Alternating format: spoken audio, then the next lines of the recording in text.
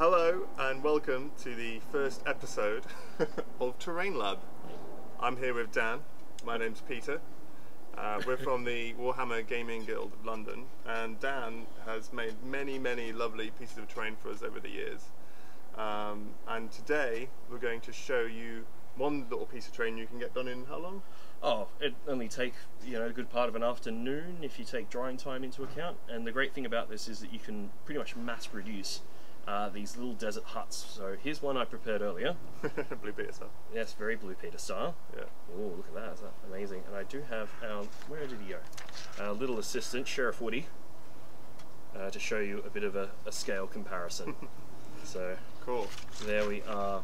So we're going to be making uh, one of these today, um, but uh, as I said, you could you could sort of mass produce these. You know, just do it step by step and, and start building. Yeah. If you want to make a little little town. But no, we'll be doing a series of these videos uh, documenting quick and effective pieces of terrain that you can build simply and cheaply in your own home uh, within two, you know two or three hours. And before long, you're going to have a wonderful gaming table full of lots of interesting li- line of sight blocking terrain and techniques. We'll also be featuring a new beer on each show. So uh, you know, no good hobby days are fulfilled, especially a sunny day like this with our beer. Yes. Uh, today we're featuring Q Brewery, which is a, a small sort of one-man shut setup as far as I know. I got this from a uh, market just down the road here, um, and this is called Sheep in Wolf's Clothing, which is good. I'm a Space Wolf player. I am too, got a few yes. Space Wolves, so we're gonna give this uh, give this go. So uh, it's a farmhouse IPA. It's fermenting using saison and US yeasts. Wow. This big farmhouse IPA is powered by the punchiest New English hops, Excellent. and it's 6.8 percent. So Oof. if you want to know what the, it even tells you what the hops are. So for those interested, Archer, UK Bullion, UK Chinook, Okay. Fusion, Yes. and I can't say that. Uh, uh, I think it is. Olicana. Olicana. Sounds cool if you're Australian. Dan's Australian if you haven't typed out. Guess G'day. now, yeah. G'day. Alright, so yeah, let's open this up and you can Alright. have the honorary taste. So- Excellent. And then we can crack on with uh, with our uh, pull that in project. Oh, thank you very much. Oh. It's even got it down to the, the 45 degree angle. I'm doing my like best a here. pro. Don't spill it now much. Don't spill it. There you go. thank you. Got it in my. Excellent. Just like that. It's got, it's, got a, it. it's got a Belgian head on it there. Belgian head. There you go. I'm going to try a little bit in this glass. I'm Okay, excellent. not sure if I'm going to like it as much as you. Alright. Let's see. Brilliant. Oh, oh, Cheers. Oh, Yep. oh. Well, that's very nice. That is, that's quite nice. That's really well balanced, isn't it? Mm, it is. Very good. I like that. I thought it was going to be massively punchy on the hops, but it's really balanced out with It the is. mellowness, so That's quite nice. There we go. Anyway, let's uh, let's get on with the uh, terrain. That's what everybody's tuned in for. So we're going to have uh, we're going to have a few different steps. We're going to go through. Uh, we'll talk us through. We've got, we've got the, we're going to show you what we've got in Yep. terms of materials. Yep. Talk you through the plan stage and Yep. then actually how to do it. All right. Well, I'm going to hand you the plans. Good. Famous last words of everybody in uh, The world. Rogue One. Don't give me the plans. Yeah. Darth Vader will be along in a minute. Uh, slice some food things. Maybe he might. so let's first of all start by talking about the materials that we're going to use Should in today's build. Um, we'll get to that in just Okay. a minute. Cool. So first of all, let's work from the base up. So the base we're going to use is a piece of 3 mil MDF. Um, now the reason I've gone with 3 mil MDF is because uh, it it's a good solid base to work from, but um, because we're going to be taking up most of the space, uh, this is roughly a 12 centimeter by 12 centimeter piece of wood. Uh, it's not going to warp so much. So rule of thumb is that the bigger your terrain piece is, the thicker you want to go with your MDF to, to cause less warping.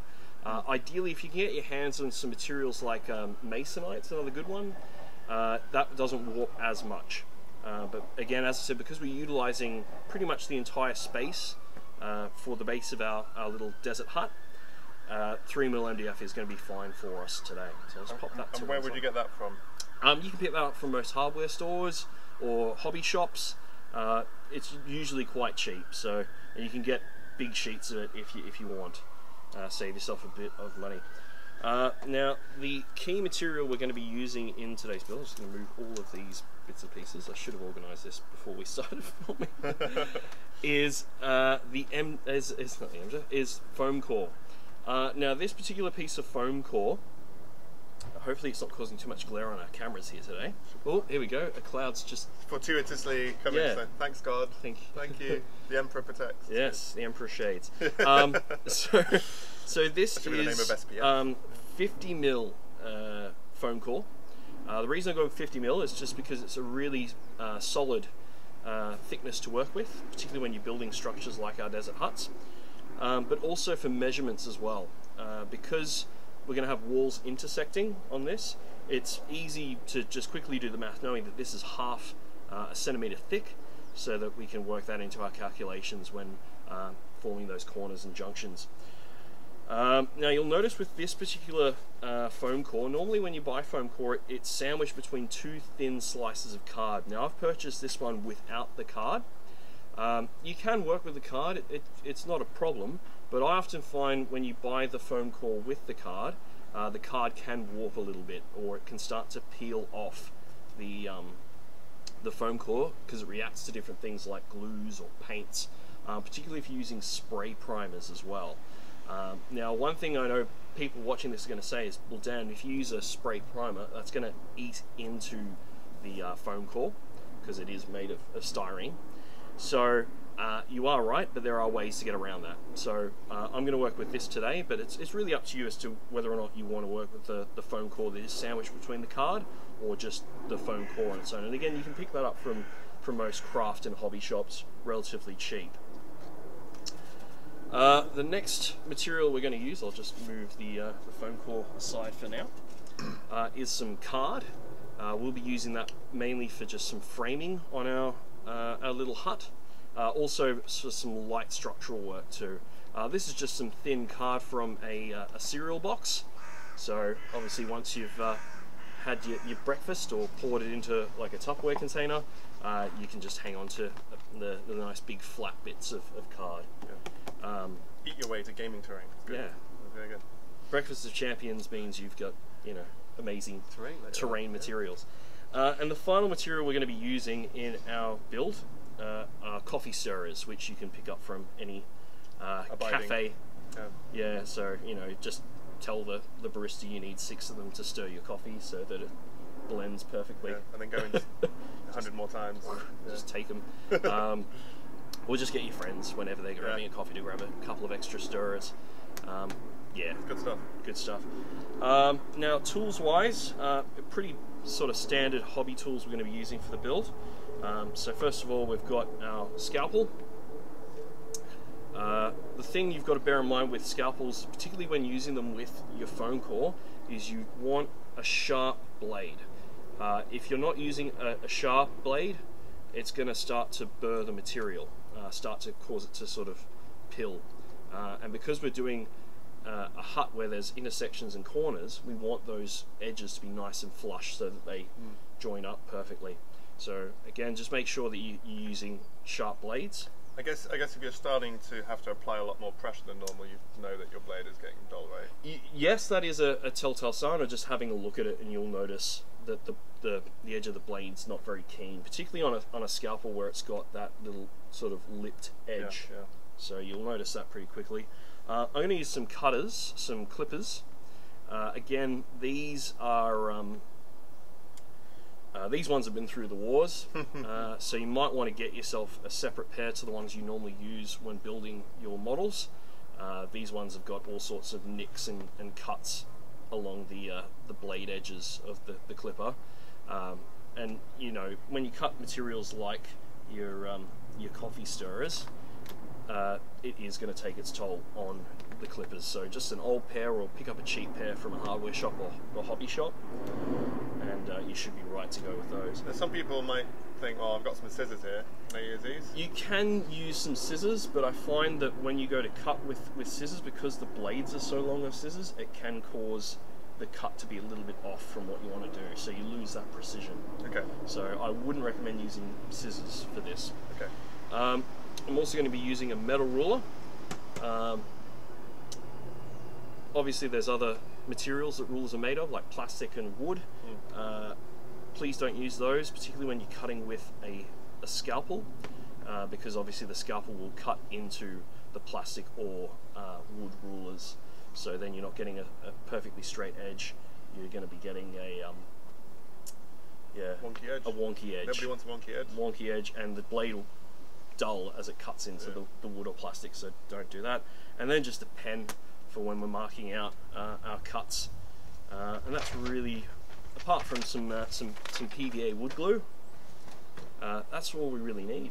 Great stuff. Yeah. How much uh, for all the materials uh, for this project? Um, I mean, it really all depends on, on where you want to go to get it. Uh, obviously, shop around. You'll find that the tools will vary in price depending on where you go, uh, but it shouldn't be too too big of a budget. I think all in all for this terrain project, um, to produce uh, not just one but you know multiple uh, desert huts is going to be less than twenty pounds. wow. So it's it's not an expensive. That's including the tools. Um, maybe a little bit more, including the tools. but, but the tools you should be sort of budgeting for separately because you're going to be using them on multiple projects. So, So, for, for twenty pounds, how many huts do? You I reckon I could probably churn out maybe you know, half a dozen or so. Okay, that's really good. It's good So- value when you consider how much you know a single piece of terrain might Yeah. cost if you buy it. Well, it, it really all depends on the size. Mm. Um, so we're going to show you how to make a basic one, but you can play around with the sizes uh, and the, uh, So, I guess, the design that you want to use. So speaking of design, we're going to have a look at the plans now and see what uh, we're going to be building today. As you can see, uh, it always helps to go through and just uh, do like a rough sketch of what you want to create, particularly if it's the first time that you're uh, you're making a terrain project uh, like this. And then, um, particularly with structures, you can go through and do the different facings, different facades on the uh, the building, which gives you a bit more of an idea of what it's, I guess, the breakdown of what it's going to look like. Um, and as you can see, I've also put in measurements uh, so that I know if I'm making these en masse, how, I guess, big uh, I need to make my cuts for each side. probably help with consistency as well. It does help for consistency, yeah. Uh, and because we're working with such a, a small scale, uh, you can actually do it at one to one ratio on a, piece of paper. So even if you wanted to do it as a kind of like a template, and then uh, you could just go through and uh, use that as a stencil almost for your cutting. Great. But uh, without uh, you know further prefabric. a beautiful drawing as well. Now, so if, if, if my plan looked as good as that, I'd probably frame it. To be honest with you. I was going to say, without uh, wasting further time, let's uh, let's get stuck into it. So, let's start with our sheet of foam core. So, the first thing we're going to do is just measure out the uh, the sides, and uh, I'm going to use my metal ruler and, and my pen, just a, a biro pen, to mark those out. So I'll do it, I guess, facing me, and then I'll flip it around just to, to show you what we're doing. And I'll just do one side first, Cool. uh, just to show you how it all works. So going off my plans, the uh, length of the facade of the front side of the building is going to be 10 centimeters. So uh, I apologize for those of you who normally work with uh, the imperial system, but today we're working metric because that's the way I was raised. So I mark out 10 centimeters, and then there's the old adage, old adage of measure one, uh, measure twice, cut once. oh, the beer's already getting to me. Uh, so I've marked out my my 10 centimeters there. Uh, I'm going to go and mark out the height of the wall, which according to my plans is 8 centimeters tall. So I'm just going to get that nice and. Shade for. Oh, thank you. So the beer doesn't get Too warm. too warm on this Lovely day. lovely, unseasonably warm Mm. London day. Uh, so as you can see, I've just marked out the length of the wall and the height of the wall. Now this is where having something like a cutting mat like this comes in handy, or if you've got a roller ruler, that's even handier because it'll keep the um, the proper dimensions when you go to, uh, I guess, rule your lines. So the first thing I'm going to do is I'm just going to get it nice and centered on the board. I may have to just kind of stand up a little bit to make sure that I'm measuring this correctly. So I can line it up with uh, with the rules on my cutting mat to make sure that I'm getting a straight line. and I'm actually just going to go all the way up um, the entire length of the foam core board. And then I'll do the same for the uh, other edge. Another thing you can do is just measure 8 centimeters along this line. Mark that off as well. The glare on this is Intense. intense. Ah, it's like staring into the sun. Okay. So I know that that's 8 centimeters, um, and then I can get it again. So if I line it up just nicely, that line, ah, I know I'm going to get a straight edge on that. Yeah, that's good. Straight. So I'll mark that out. Perfect. So that is the front side of our building. Now the next thing I'm going to do is I'm going to put in, So this is the side and the front, or is this the front? no, this is the front here. Okay. We're going to go and, and measure and cut the other sides, but because they're just blank walls, um, I, I think that's going to be very unentertaining YouTubing. So we'll, we won't worry about that for now. We'll, we'll, we'll do that in our own time. Cool. Um, but I will get that front measured out because we've got a door and a window on there. So again, having the plans on standby is a really helpful thing because I can quickly reference uh, how how how wide uh, my door and my window are and what height they're going to be. So I know that the the door, according to my plans, is going to be three centimeters uh, wide. So it's really just a case of um, working out first of all what side I want the door on. Um, I'm going to put it on uh, my right hand side of the building if um, I'm you know going from my perspective. And I'm going to bring it roughly about I'll go two centimeters in from uh, that edge. So I know it's 10 centimeters so I'm going to mark out uh, 8 Yep. and the door is 3 centimeters in width um, which is a nice kind of size. You can make the doors bigger if you want or a little bit smaller it's up to you. Uh, but I found with um, the models that three centimeters was a, was a good width. So I'm going to just mark that out here at the five centimeter mark, working along that 10 centimeter uh, edge. And again, to make sure I'm getting a straight line, I'm going to go up to the uh, the I guess the roof line, if you call it that, of the structure, and I'm just going to mark out a mark at eight and another mark at five. So then I should have a straight line for the sides of my door. And as you can see, I'm going to just do lines the entire length of the wall. Um, don't worry, when, when you eventually go through and built your structure and you've textured it, which we'll cover in another video, you won't see those lines. So don't freak out. Uh, the only way you'd see those lines is if you purposely pressed hard into the, uh, the foam core. Mm, good tip. So just light strokes with the pen. Okay, and then my door, the height, um, I'm guessing I didn't actually mark it out on my plans. I know. oh no. That's the, the linchpin that's going to bring it all down.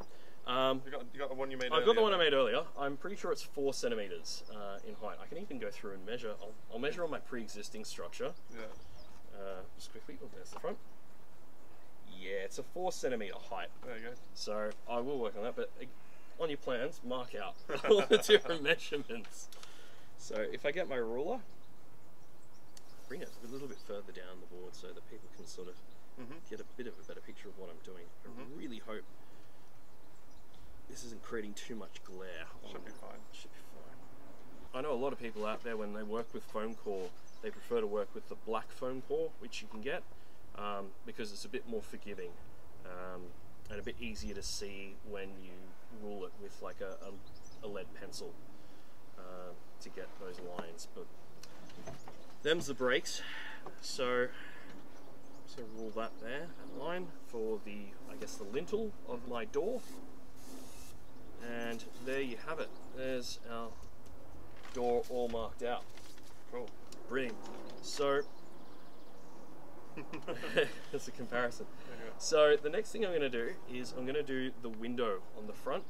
Um, again, you can have um, the doors and windows set up at different points on the structure, uh, but I thought just for simplicity's sake, we'll keep the door and the window on on the one side of the structure, on the front, because these desert dwellers aren't the most, you know, loaded of people. so, the window, go, going back off my schematics, uh, it's roughly a, it's at that top line of the door. I now know is four centimeters in height. So I'm guessing it's going to be two centimeter. Again, I should have marked this out. It's two centimeters off the uh, off the, the the ground line. Yeah. So I'm just going to go through on my board and mark out two centimeters on one side and two centimeters on the other so that I know I'm going to get a, straight line when I rule it.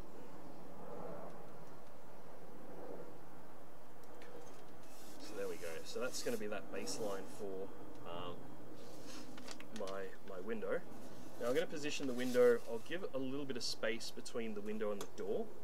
I'll go two centimeters away from the door and mark out uh, one side of the window. Now the window is two centimeters squared, so I just need to go to the four centimeter mark and make another mark there. Mm. Okay.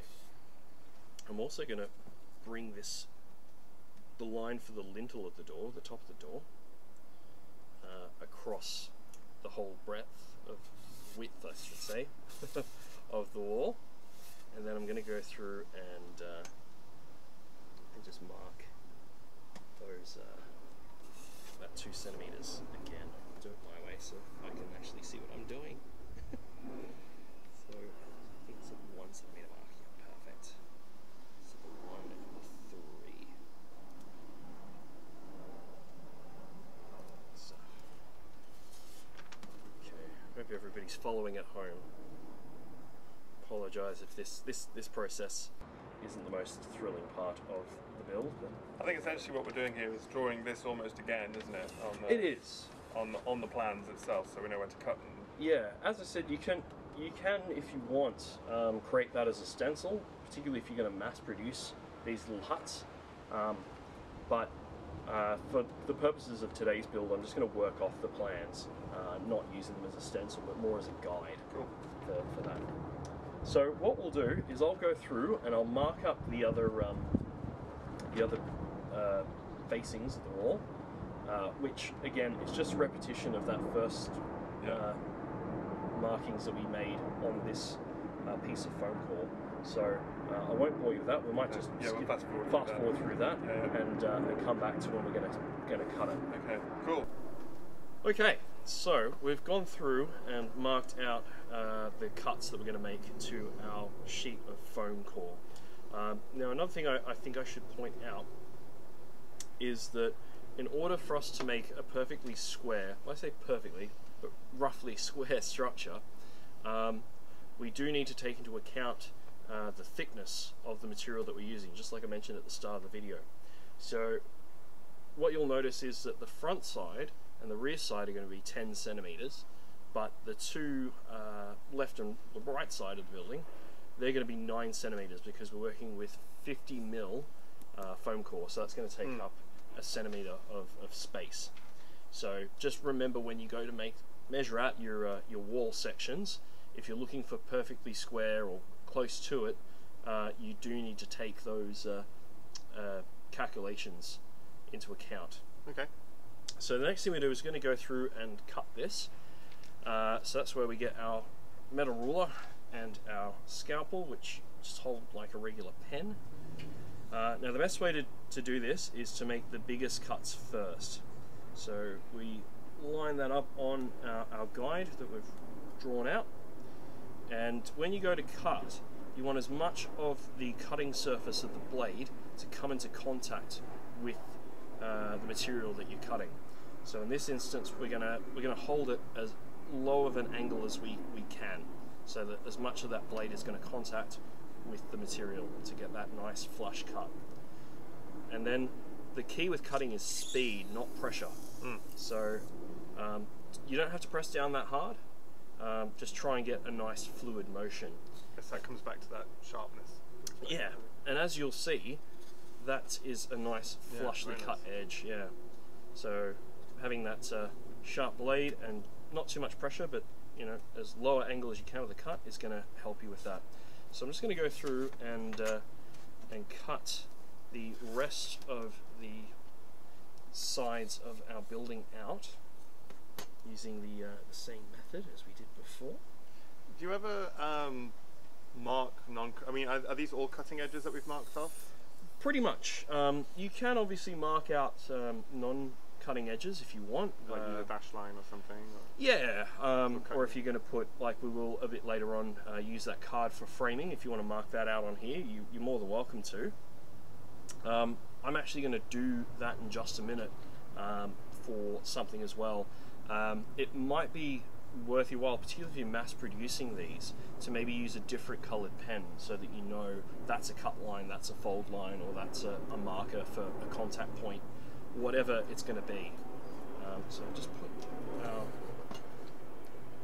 cuttings to one side and then go through and cut the rest of our structure out as another plane flies over. I'm guessing that's on its way to Heathrow.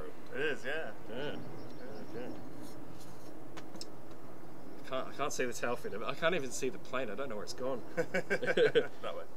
It's the- the flight coming in from Qatar. I don't know. I'd say you get used to it, and you, You do. So it, You kind of, it kind of fades into the background after does. That's true. And I'm just going to cut out our final side so we've got all of them together.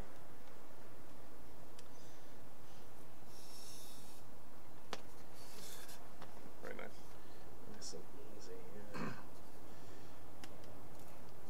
yeah. So that you can al- already feel they've got a, a bit of a kind of a Rigidity to them. yeah, they've got a bit of a bit of gusto to them, a bit of bit of uh, solidity. I don't know, Solidity, yeah. denseness.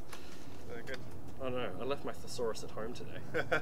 Should have brought it with me. Well, we'll edit it in. We'll We'll, add it in. That's beauty of editing.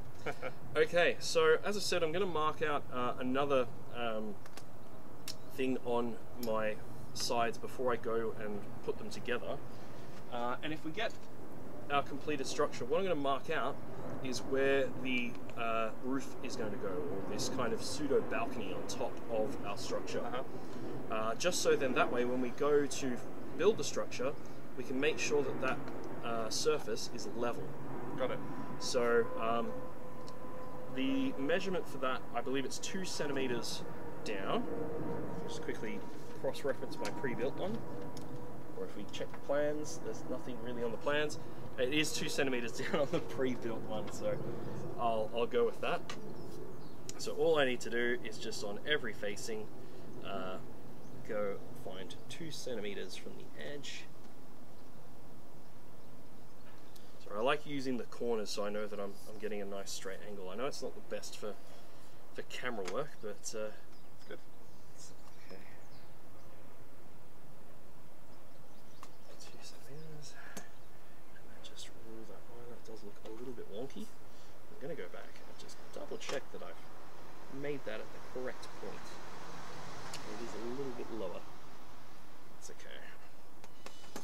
Again, measure twice, cut once. So there you have it. I've got a two centimeter line as a guide for when I go to fit the, the flooring in for the for the roof. Floor and roof are one in the same. Let's double check. Yeah, that's two centimeters Cool. along that line. So I just need to go and mark that out for all of them. Because if you don't, as I said, you, you get slanty floors, and you'll you only notice that after you've built the structure and you start putting models on it, and they start to Yeah. slide a little bit, Yeah. which can really throw you during the, I'm guessing the shooting phases of a lot of games. Like I can see that, I can see my target. Uh, no, I can't. It's a very old, you know, every old building has a little bit of, you know, subsidence. bit of bit of lean to. Yeah, so, you know, you can just make it part of the structure, the character of the building. If you really want to. Yeah. Yeah, This town was built upon a swamp. that's, that's true. Let's go through and quickly mark these out.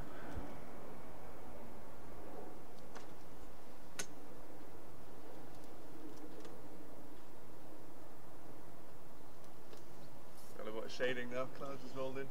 It's rolled in. We're getting cooked in this corner, I think. It's nicely sauteed.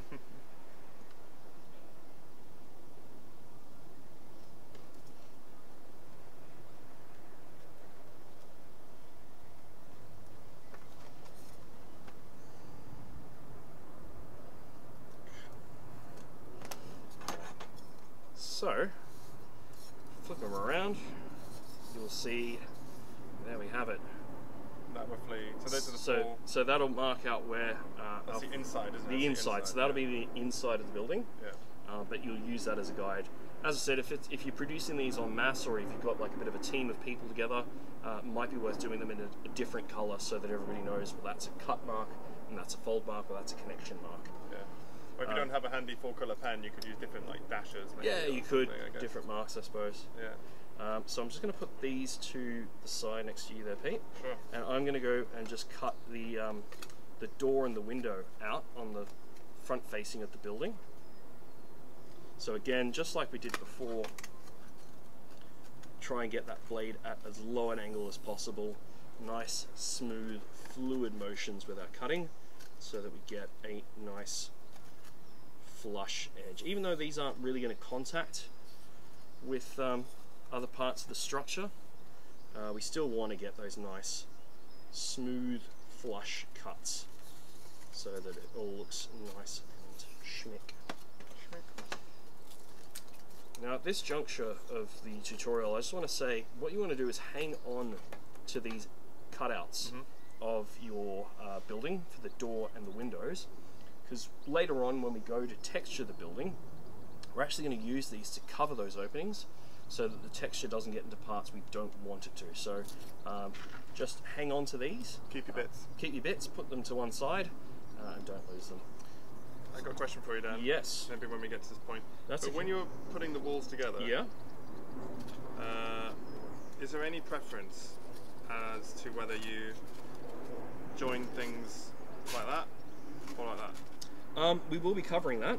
Um, it all comes down to your measurements. Like as I said, we're, we're aiming for a 10 centimeter square structure with this build. So uh, because the sides have been cut for nine, they're, they're going to just meet as flush joints. There's no trick joints or anything. It's just Got it. uh, yeah meeting direct. I don't know what the actual carpentry term for that is. Somebody will probably tell us in the comments. That's alright, it's fine, correct us by all means. Um, now when you go to cut the window, you may notice that I'm overcutting it a little bit. And that's fine. Uh, again, when you've gone to texture it up, that'll cover up those the, the additional cut. I'm not cutting too deep at that point. Um, but when you're cutting uh, out a, a part of uh, your material where it's uh, in the middle of it, you don't have an edge to work off. Uh, unfortunately, you're going to have those uh, overcuts. So um, don't be too worried about that.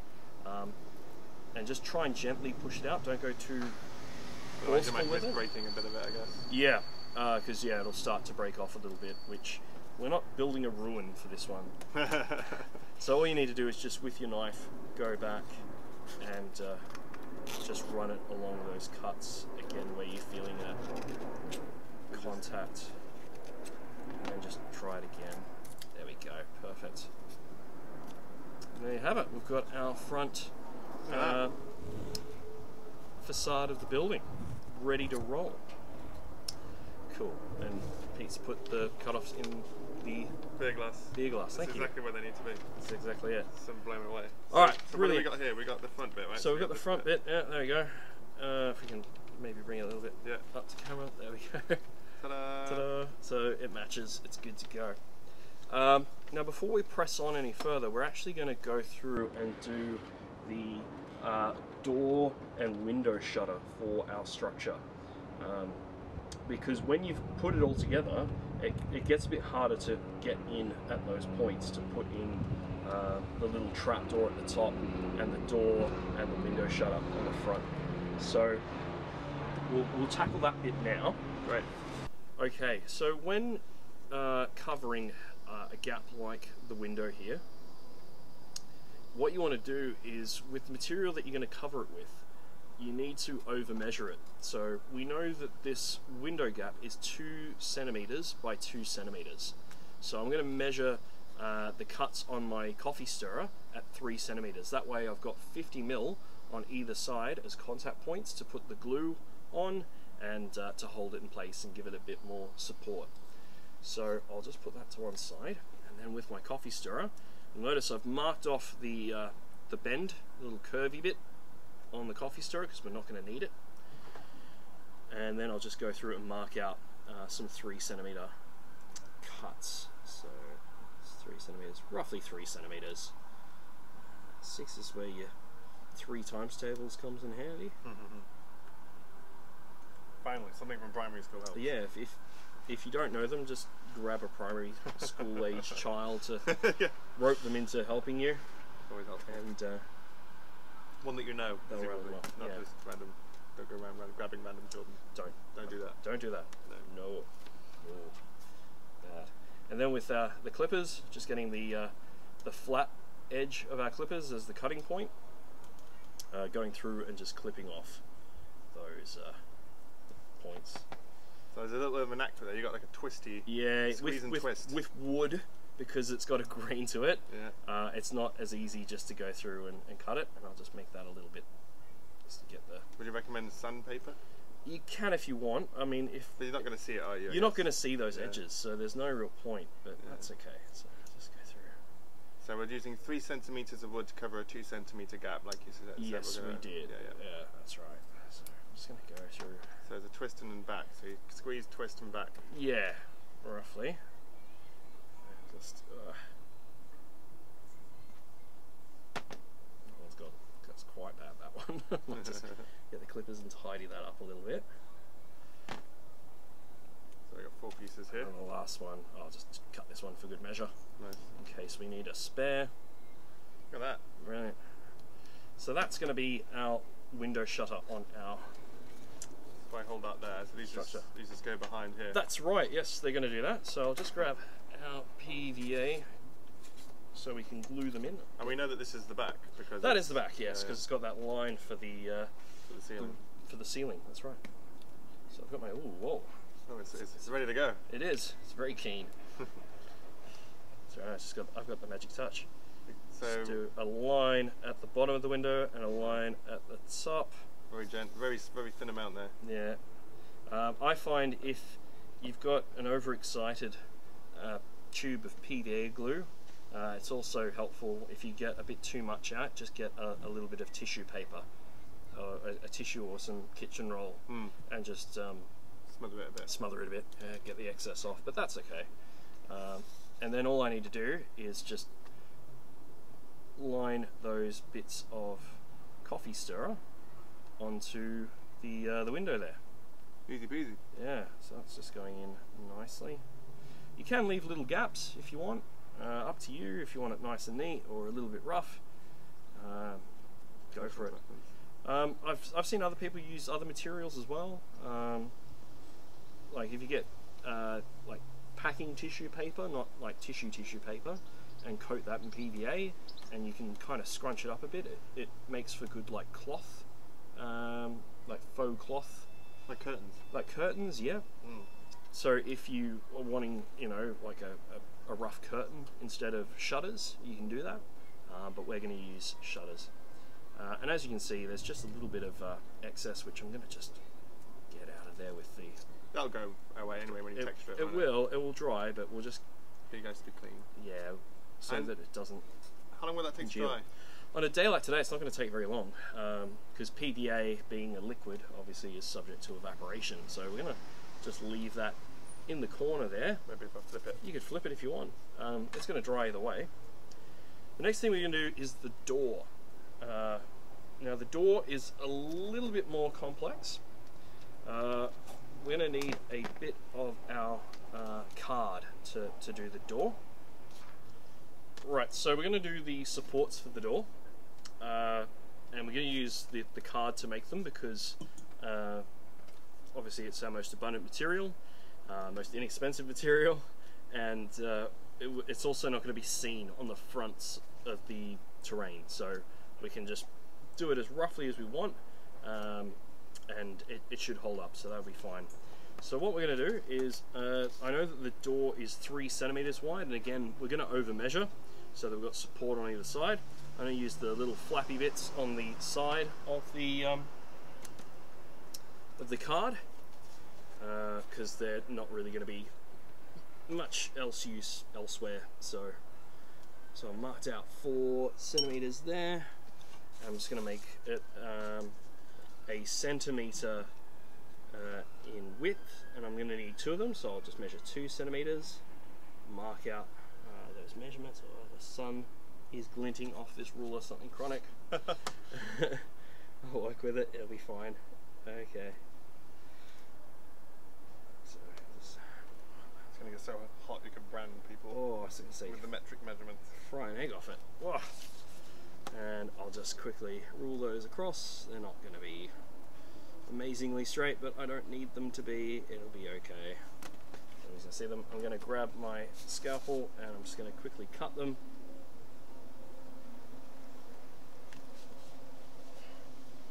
And go from there. Whoa. Whoa, it's a bit hot. It's really hot now, isn't it? Touching, touching the metal bits. of Un- un- uncharacteristically hot British weather. I was going to say, I feel like I'm home. It's, it's, it's very hot, man. Was not expecting this. It's, it's okay. We we shouldn't with it. complain. We can't complain. We cannot complain. There will there'll be a rebellion in the country if we complain about hot weather on, a, on a, in London. Yes, that's true. What are we at today? For those interested, it is. Well, it's saying it's 20, 23 degrees, but I'm, Okay. I'm sure in our little because this is a sun trap. Yeah. We've got these white reflective walls, so I, I believe we're just sort of being irradiated with the sun at all angles right now. So, barbecued. Alright, so I'll get rid of that card. I've got this card. I'm going to bring back our door where the windows have dried because it's so hot. and all I need to do. Normally, how, if you just had that in your house, you're doing it at night. How long would it take for that PVA Oh, to set? it really all depends. Um, it, it does respond to heat. Um, you know, so the hotter it is, the quicker that evaporation is going to take place, and the glue will set.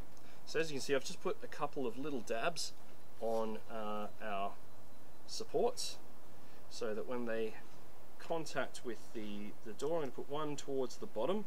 Now you don't want to put it right at the bottom, because then it'll start to just show through with your, your door slats.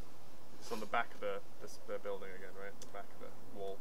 Uh, well, this is this is at the door, so the door's on the front of the building. No, but I Traditionally, mean, we're sticking it onto the back. we are we're sticking it onto the back side of this wall, Yeah. um, so that that's going to be the, f- what people will see. This is what's happening behind the scenes. Mhm. Cool. All right. So that's I'm just going to put that to one side for it to dry, and then um, it's going to dry whilst we do this next step. I've gone and pre-cut the. Uh, Uh, can I just interrupt for a second? Yeah, sure. I'm, I'm noticing you've only got two pieces there. Is there a reason why there's gaps? Um, yeah, so these are just supports. Ah. Because Uh, the door Oh, we're going to stick wooden bits on. yeah, we're going to stick wooden bits Right. on it. Okay, Yeah, cool. brilliant. So I've gone and pre-cut them. Nice. Uh, now the coffee stirrers are roughly uh, 50, uh, 50, 5 mil in thickness, um, but uh, there's always a little bit of variation, particularly if you're picking them up from different coffee shops, because obviously they're. Ah. they're sourcing their coffee Do you stirrers. have a preferred brand of coffee I, I don't. I don't. I really don't. It's fine. Uh, I'm not going to endorse any particular cafes Okay, in this video.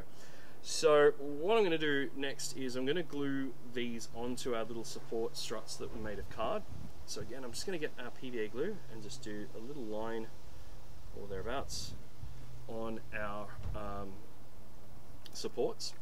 And then just like we did with the um, the window, but this time these these particular uh, bits of, of coffee stirrer are cut to fit in this cavity. They're not over measured like these ones because the supports are doing the work um, that the over measurement would on the other bits of, of wood, if that makes sense. Yeah. So, and I've also cut them a little bit shy of four centimeters, which is the height of the door, because I do want there to be a little bit of a gap at the bottom, just so that the, the stirrers don't cause uh, the bottom of our wall to uh, not sit properly on the base. So we just go through and lay them in like so. You can, again, as I said, you can put in little bits of like little gaps.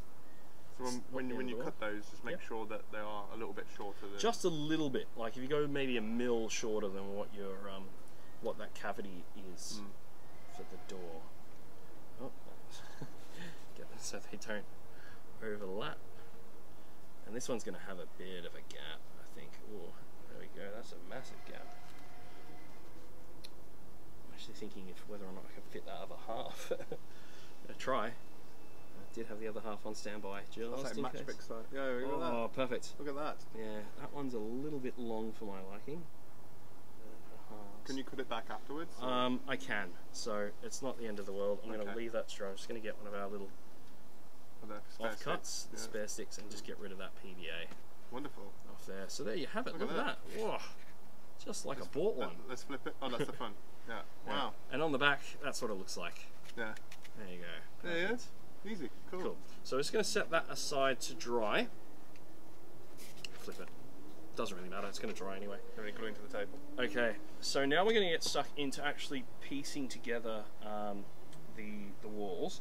Before I do that, I'm just going to quickly measure out and cut the, um, the ceiling, the roof for our structure, which is going to be 9 centimeters by 9 centimeters because we're taking into account um, the extra um, 5 mil of thickness for the, the walls of our hut. So 9 centimeters by 9 centimeters. Just quickly do a 9 there. Quickly do a 9 You may, you may notice there's a bit of uh, humidity. Forming. forming on there, and that's Yeah. it's so hot that the cameras are overheating, and, and, we're, and we're having to, to spray. My love, this is my terrace by the Yes. way. I'm having to spray, Spray it, it, to yeah. keep it to keep it cool. Yeah. And it, I don't know if it's working, but That's, I, I it's think it'll be fine. It's Alright. In principle, right? Evaporation causes coolness. so- Yeah, let's see. I don't know if the camera's picking that up, but anyway. I'm just gonna get that line. Looks like it's lined up. Yeah. Straight, we can go measure nine centimeters along this line. And then we're gonna measure this. And then I'm going to put my little trapdoor in as well. It looks like it's on a bit of an angle, that one. Just going to double check that.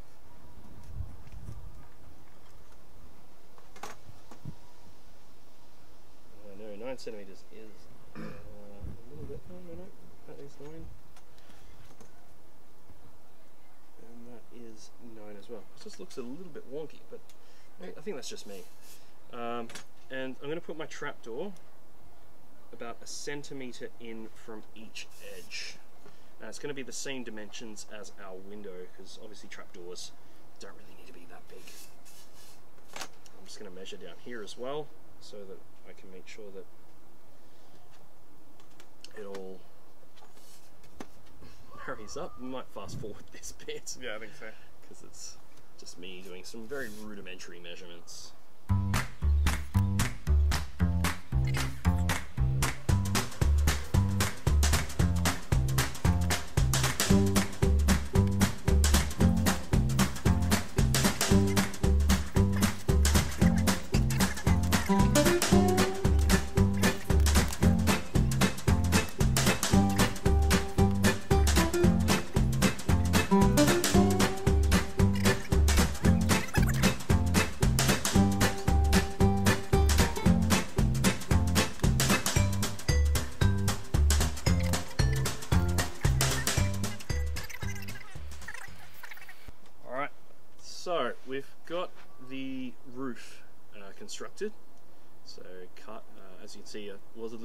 Wonky with some of these lines, but got it all sorted. And uh, we've got the uh, slats glued in as well. So we can now start building our structure.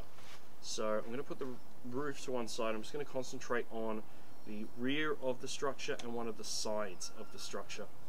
Um, now what I do, I do need the, the PVA glue for this bit. Thanks, Pete. That's all right. So all I'm going to do is just run a little bit of PVA down the side of our long edge because as we know it's 10 centimeters in width. And this is 9 centimeters in width. So we know that this is going to be uh, the side and this is going to be the rear and that they should meet up here in this corner. So I'm just going to get them uh, relatively flush in the contact point. Just move this uh, PVA over now I'm going to use a little bit of a helpful uh, tool to help me at this juncture in our tutorial and that's some sewing pins. Uh, you can pick these up from uh, arts and craft stores or some supermarkets even sell them as well. Um, they're not very expensive at all. And we're just going to get uh, the sewing pin and I'll show you what I'm doing but I'm basically putting it through on an angle uh, so that it brings the two corners of the structure together. I don't know if you can see that, but as the, the pin has just gone in on a 45, roughly 45 degree angle uh, to the wall, so it holds them in place. I'm going to put another one uh, at, the, uh, at the bottom, so that holds it in as well. Just make sure that's roughly on an angle and that the, the sides of the wall are flush. So we've got a nice corner. And there we have it. Now it is going to be a, a, little bit off because those pins are kind of forcing it in together, but when we glue our roof in, which we're going to do next, that's going to um, get it to kind of at the, uh, the right angle that we need for that corner. So as you can see, that line I marked out before with the um, for the, the roof, that's uh, met at the right point. So I can glue that in and use that as a guide for where I want my roof to go. I'm just going to pop some glue on that line. Sorry you can't really see this at home folks. Oh, I got a bit, a little bit conscientious there with the, the glue. I'm just going to smear that out a bit. And then I'm going to pop the roof in and I'm just matching it up with that, that line. Then I'll try and I'll try and do it facing the camera so that you can see it home, but it's a little bit harder for me if I do that.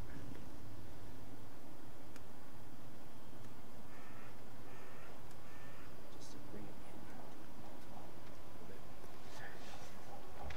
Actually, I just flip it, side's jutting out a bit too far. Okay. Brilliant. So that should measure up with that line And I'm going to get some more of these sewing pins to hold it in place while it dries. So again, just going in at about 45 degree angle. And there's no problem getting these out when the, the glue No, dries. no, they'll just slide out because um, uh, yeah, the glue doesn't really hold them in place. Cool. Uh, and even if you, you just need to give it a little bit of welly, it'll come out, and it shouldn't it shouldn't tear or uh, upset the uh, the material that it's gluing in place. So I'm just putting another one in. Oh, oh, that one didn't really go that well. Let's try that again. There we go, perfect. Okay, so as you can see, our structure is starting to form. Mm. So that's all, uh, that's drying there. So I'm just going to pop that to one side and then I'm going to grab my uh, other side piece of the structure and glue that in. And on a nice sunny day, it shouldn't take too long for this to, to, to dry. Pop a bit of glue. So I've popped a bit of glue on that edge. And then again, just getting um, my side, I'm going to put a little bit of glue along that line for the ceiling so it helps to hold it in place. And then just pop it in. And as you'll see, as you start to build the structure, it'll start to lend a bit more support to itself. So that each each time you bring a wall in to connect, it's helping the structure maintain its shape, which is what we want. So I'm just going to again put in a, a pin for the, the flooring It's also casting a very Batman-esque shadow. It is. Uh, you can't really see it from, from that side, but there's a bit of a you know, two sort of like the bat ears Yeah, forming on our side. it's a sign. I think. I think the, Batman will be proud. Batman will be proud. The Bat House. Yeah, it's his uh, little bat hut, and he needs to get away from Gotham. I'm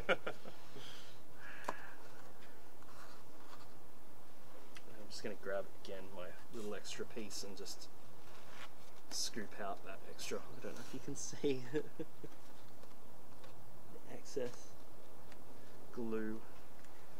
One slice of flush? Put another pin up to hold the bottom in place. Ah. Come on. Do your thing.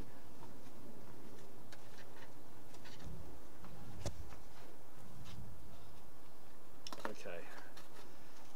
Perfect. So we've got the, the structure almost there. I'm just going to pull this pin out so that I can glue the front of the building on. And that should sit flush with this facing here. So I will just go through and put a bit of PVA on here like that. Get the facade, the front facade of our building, and pop it on top. Coming together. Getting there. And get some more of my trusty sewing pins.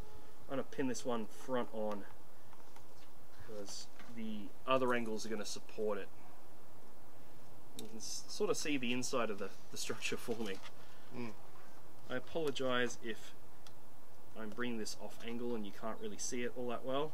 But once I've got these pins in place, I will bring it round so that you can have a look what I have done.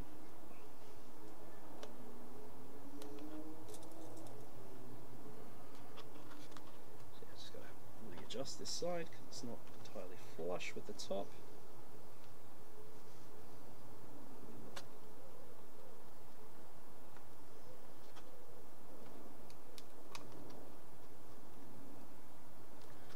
So you can kind of adjust as you go. You can, yeah.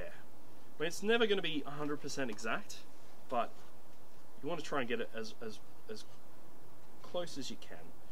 And there we go. Look at that. We've almost got ourselves a fully built little hut. Lovely. It's coming along quite well. Uh, it's just going to take a few minutes for it to dry, particularly in the sun. Um, and uh, I might just take a little bit of a break while we get it to dry and come back to you with the next step in just a, a few minutes. Great.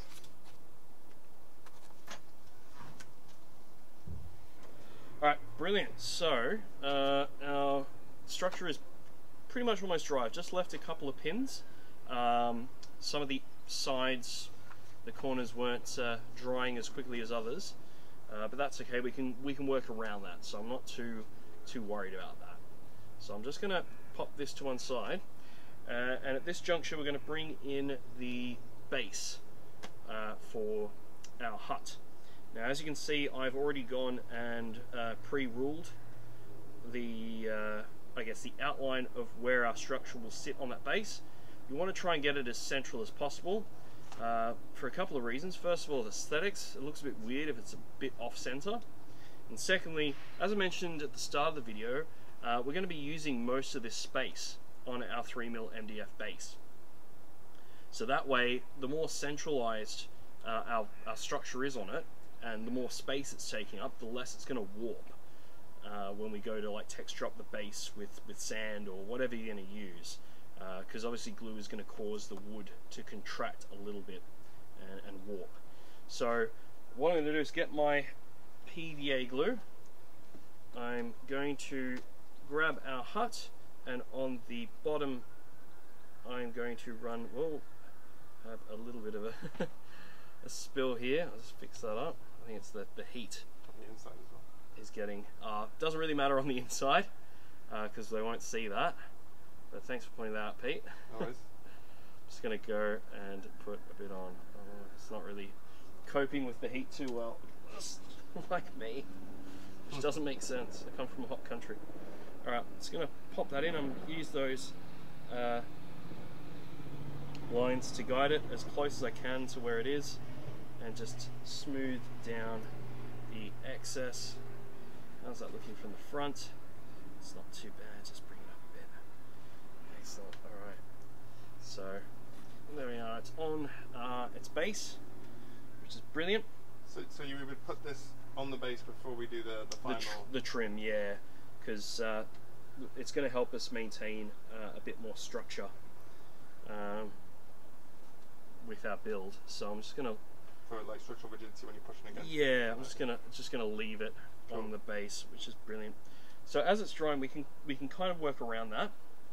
I've already gone and pre-cut all the trim, um, which roughly so around the the bottom of our structure, I'm gonna have a two centimeter uh, trim, uh, just because that shows that it's obviously the the base of the structure, uh, and that's probably where you'd have a bit more uh, build up. Thank you, Pete. Uh, in that structure to obviously, you know, have a, a more solid foundation. And then along the um, the roof line, I'm going to have a one centimeter trim.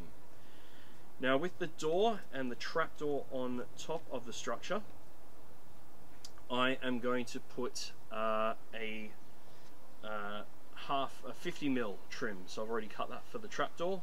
I'm not going to worry about the window. It doesn't really need a trim, so we'll just leave it as is. So again, with our trim, we just get the PVA. And you can see it's all, it was all marked off on the plan earlier as well. Yes, so it was all marked off on the plan. Uh, I'm going to, on the back end of it, just dab a bit of PVA glue. Oh, getting some of them out. That's okay, I'll wash off. Rub off, whatever. And I'm going to stick uh, this bit of trim on the over the door. I'll just sorry to bring it off camera, but I'll bring it back once I've got it in position.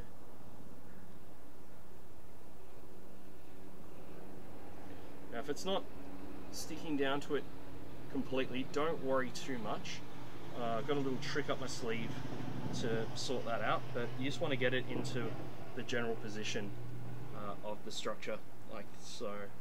And I'll go through and I'll do all the um, I'll do all the base uh, trim. And this just cut out that cardboard we Yeah. did earlier for the Just um, for the supports when we did the door. Exactly right. Uh, the exact same way. And you just want to make sure it's, again, like our corners, meeting up nice and flush.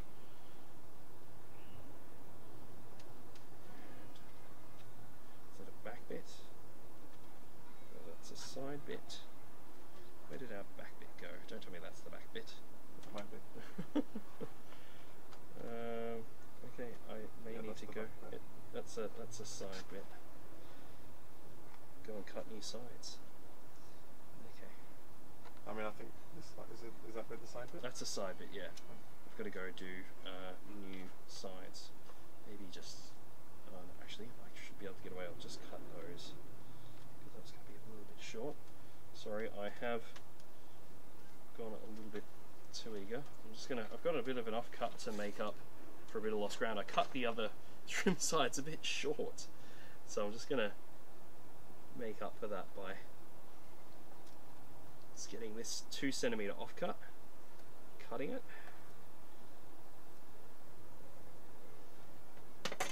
To make up for a bit of lost uh, lost ground on that one. I can't believe I did that. It's all right though. Uh, at the end. you do. It's all it's all a massive learning curve. You just make it up as you go. If it doesn't work, there's always a way around.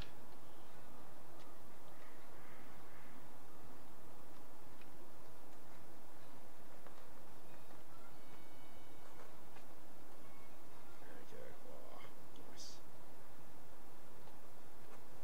So I've just made up for that gap with the extra centimetre that I just cut then. I'm just going to do the final side of the building with its bottom trim. A Bit of PVA glue.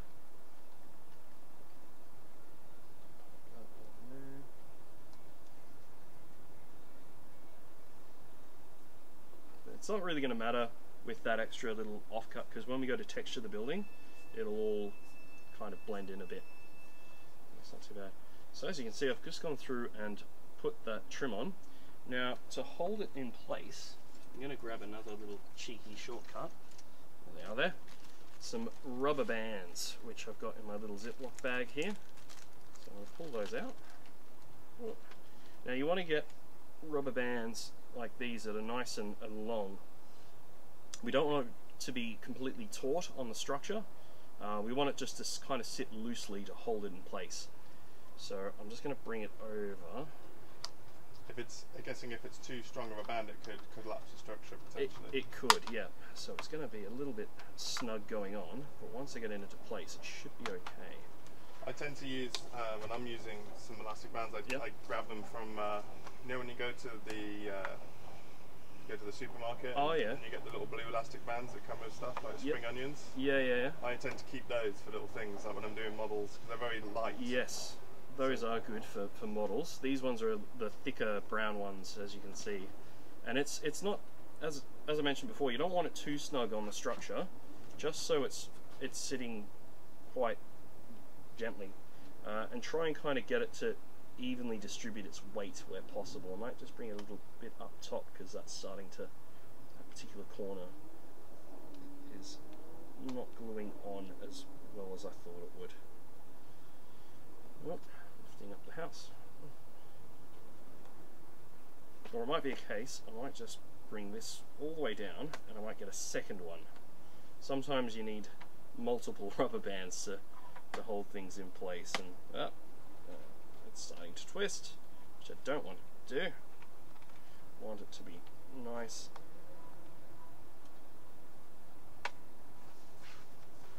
and straight. So that down.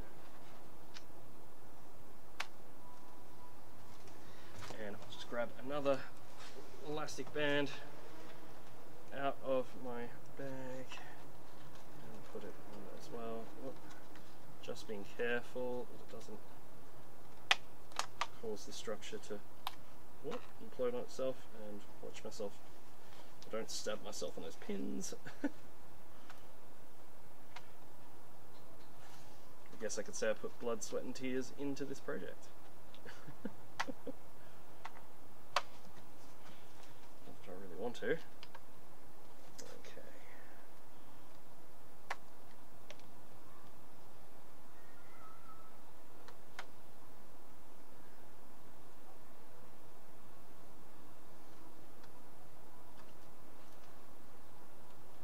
Might just get another pin up here because this wall is starting to give. I don't want it to.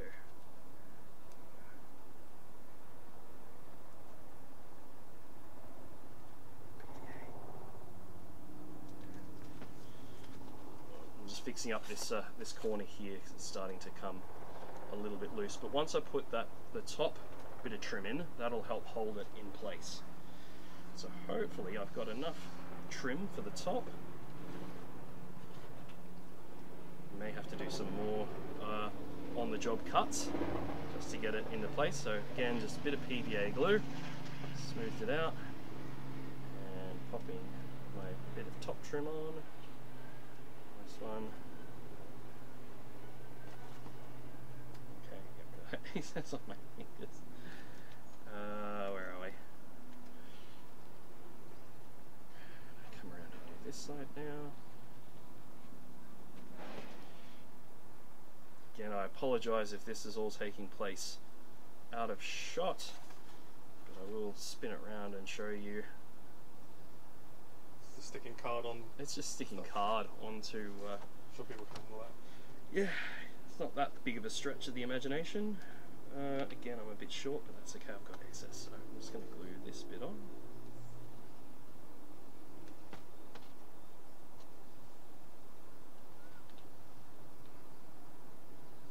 Have to change our motto to measure three times, cut once. Measure three times, cut once. cut once. That's very true. Is it the old adage of "do as I say, not as I do"? I think we'll blame blame um, is it, uh, what do you call it? Sunstroke.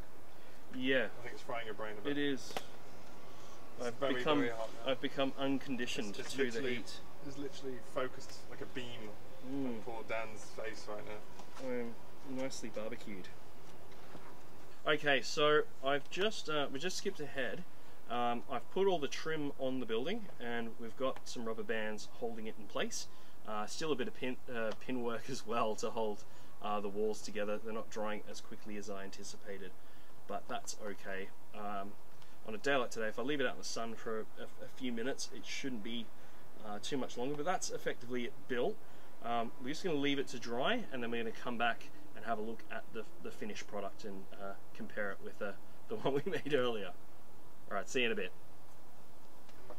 Okay, well we're at the end of our terrain project, uh, building our desert hut. Uh, as you can see, these are the schematics of what we were trying to accomplish. Uh, I guess the real test is to see how we did. Shall I get the, uh, the finished product? I, I think so. I think it's- Okay. Here it is. That's uh, our finished hut. uh, it's looking pretty good, if I do say so myself. There's a couple of minor faults with it, but you know, as I was saying before, you're not going to get it 100% perfect. So don't don't lose any sleep over that. I certainly won't. Um, a few things that we'll, we can fix up um, that aren't you know major uh, stuff that will obviously be kind of glossed over with the um, texturing and the painting. So it's not too uh, too.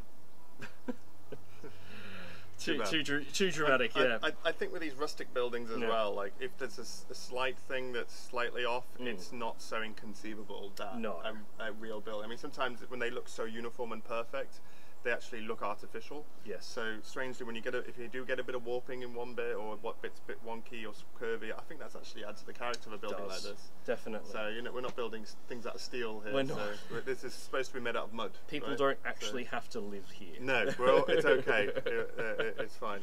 All right. Um, let's um, see how it. Should we see how it compared to yeah, the, the, original. one? This is what we were going for. This is in a controlled environment. This is in. Ooh. Yeah.